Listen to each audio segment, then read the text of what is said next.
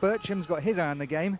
He got a last-minute winner at Griffin Park late last season as QPR pushed for the playoffs, although he's still struggling to put the final defeat behind him. I think I've just about got over it now, what happened at Cardiff. So, yeah, we're, our aim's in to go up automatic, don't matter if it's first or second, just go up automatically and, and give something back to the fans.